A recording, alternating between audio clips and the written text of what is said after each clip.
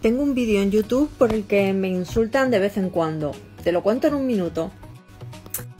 Hace un tiempo hice un vídeo para YouTube con los libros que, me iba a leer ese verano y de repente eh, empezó a entrar muchísima gente en ese vídeo, pero muchísima para decir, vaya fraude, pero si no los has leído, ¿cómo puedes dar tu opinión?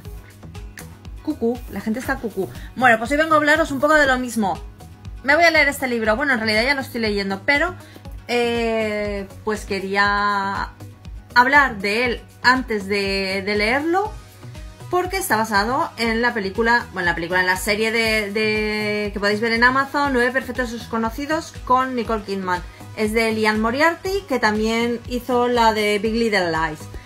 ¿Por qué lo digo antes de leérmelo y no después? Porque lo guay es eh, comparar la serie con el libro. Por eso lo he cogido. Yo ya he visto la serie, protagonizada por, ya os digo, eh, Nicole Kidman en el papel de Masha. Y bueno, es una serie que, decimos. Eh, bueno, que la bueno, yo la llamaba la serie de la secta. Pero bueno, nada que ver.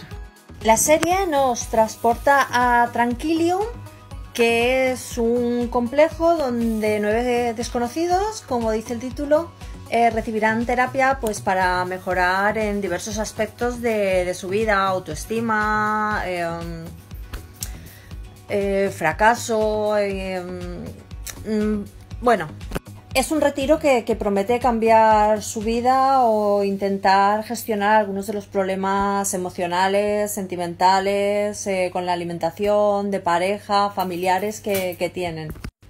Os recomiendo la serie, aunque sigue ese concepto de los ricos también lloran, protagonizada por Nicole Kidman, Melissa McCarthy, como podéis ver, Michael Shannon, Luke Evans, hay bastantes nombres conocidos, pero al menos por lo poquito que he leído del libro, llevo unas 70 páginas de 500, se basa muchísimo en el personaje de, de Melissa McCarthy, que es una escritora, y en los personajes de la pareja interpretada por Samara Webbing y otro chico que, que no sé muy bien que, o sea, no sé quién es el actor, que son Jessica y Ben. Y bueno, ellos intentan arreglar sus problemas de pareja.